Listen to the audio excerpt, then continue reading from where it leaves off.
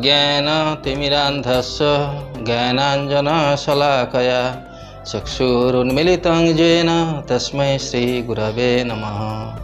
नमो विष्णुपादाय, कृष्णप्रेष्ठाय भूतले, श्रीमते भक्तिवेदान्त स्वामिनीति नामिने नमस्ते सरस्वतीदेवे, गौरवाणी प्रचारिणे, निर्विशेषशून्यवादी पाश्चात्यदेशतारिणे মহারাজ যুধিষ্ঠির কৃষ্ণকে ভগবান কৃষ্ণকে বললেন যে আমরা এখন এর আগে হ্যাঁ, বিজয়া একাদশী সম্বন্ধে শুনেছি।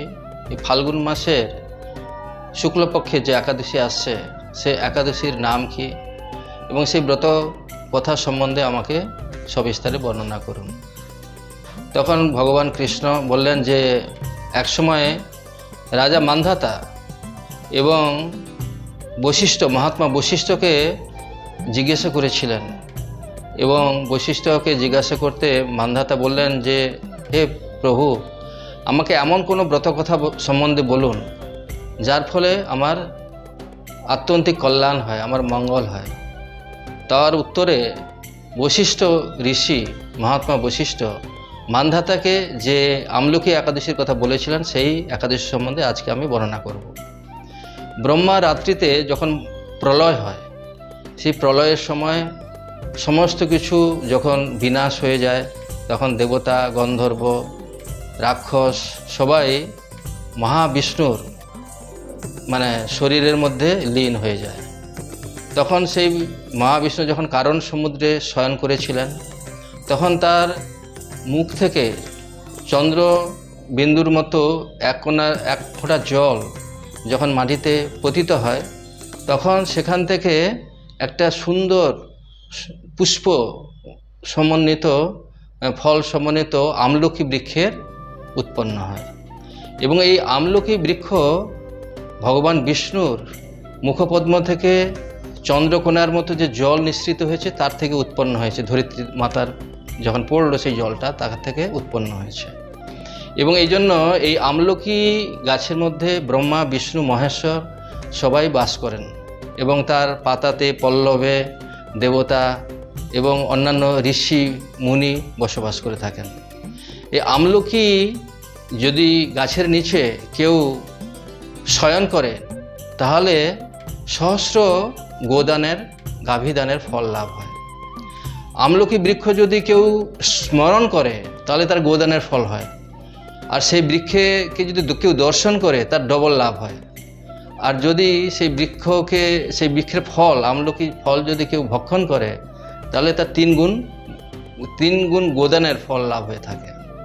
তো সেই জন্য আমলকি যে বৃক্ষ এটা ভগবান বিষ্ণুকে থেকে উৎপন্ন হয়েছে এবং এটাকে বৈষ্ণব বৃক্ষ বলা হয়। আমরা যেরকম তুলসী বৃক্ষকে পুজো করে থাকি, সেই জন্য আমলকি বৃক্ষও পূজা করা হয়।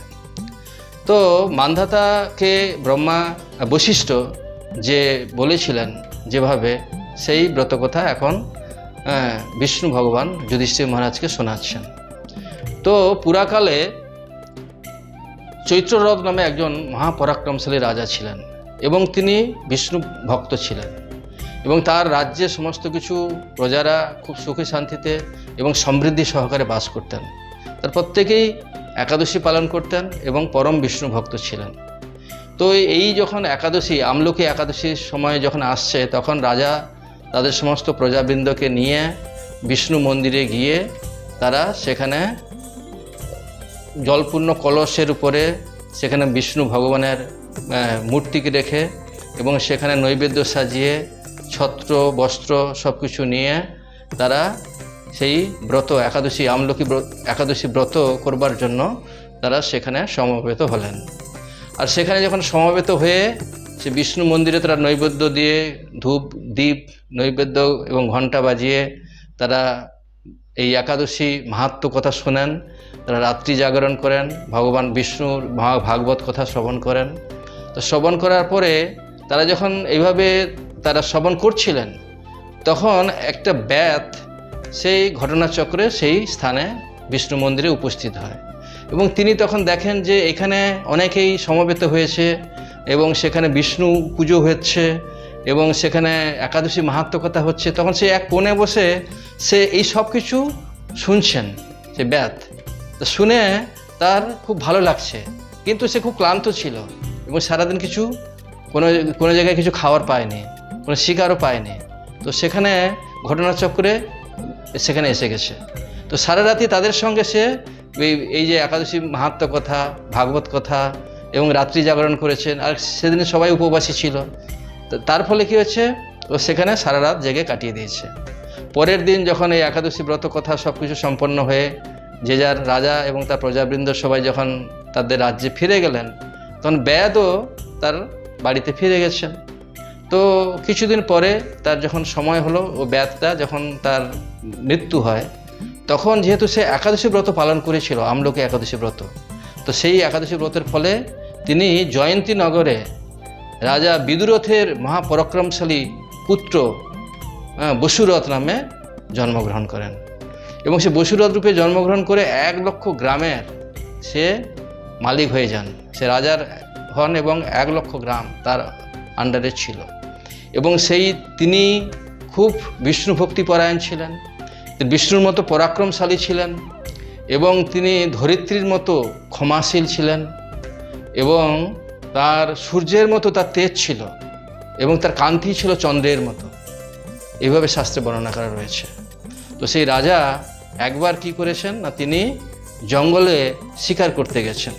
জঙ্গলে যখন শিকার করতে গেছেন এই বসুরথ রাজা যিনি বিষ্ণু ভক্ত ছিলেন, তিনি জঙ্গলে শিকার করতে গিয়ে তিনি ক্লান্ত হয়ে কোনো শিকার না পেয়ে একটা গাছের নিচে তিনি সেখানে ঘুমিয়ে পড়েছেন।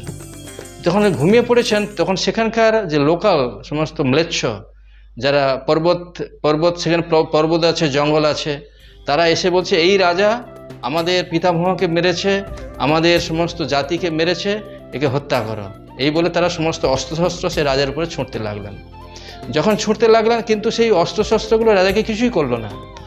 ফুলের মতো তার শরীরের মধ্যে এলো।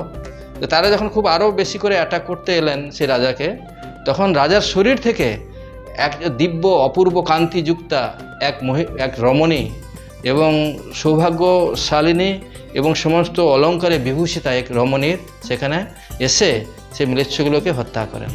তারপরে রাজা যখন ঘুম ভাঙে, নিদ্রা যখন ভঙ্গ হয়, তখন দেখে তার অনেক সেখানে নিহত হয়ে পড়ে আসছে তখন তিনি বললেন যে, আমার এখানে তো কেউ মানে কে আমাকে এভাবে বাঁচালো, যারা আমাকে মারতে এসেছিল?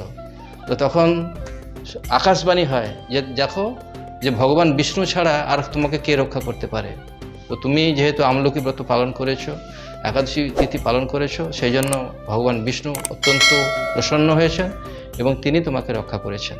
তো এইভাবে রাজা সে আমলকি ব্রত পালন করেছিলেন বলে তার আগের জীবনে ব্যাদ রূপে, সে এই জীবনেও ভগবান বিষ্ণু তাকে রক্ষা করলেন এবং তিনি যতদিন ছিলেন এই ধরাধামে, তখন তিনি তার ইন্দ্রের মতো স্বর্গসুখ তিনি এখানে লাভ করেছেন এবং এই একাদশী ব্রত যিনি পালন করবেন, তিনি অন্তিমে প্রয়াণকালে তিনি ভগবান বিষ্ণু বৈকুণ্ঠ ধামে গমন করবেন।